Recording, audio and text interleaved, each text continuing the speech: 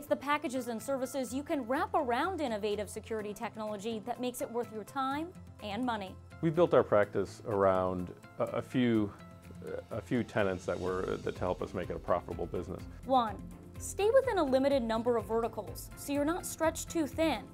Two, focus on only a few vendors to allow your team to become experts. We also focus a lot on services. So professional services, which is a natural extension of being able, being highly trained on the, on the solutions that we provide, as well as managed services for organizations that prefer to fully outsource certain functions. John Gopinski of solution providers Secured Retail Networks offers security solutions for restaurants and retail, which are both widely distributed mid-enterprise environments.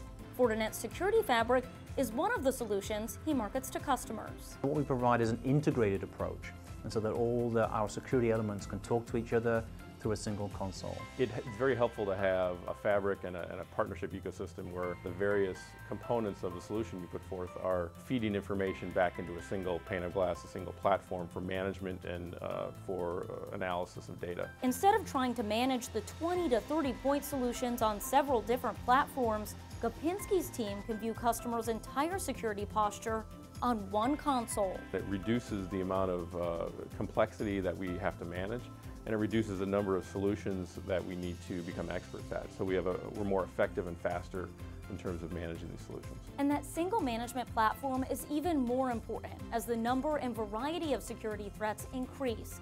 Next, in part four of our series, Five Ways to Build a Profitable Security Practice, we talk about those mounting threats and the core solutions you could be offering to your customers.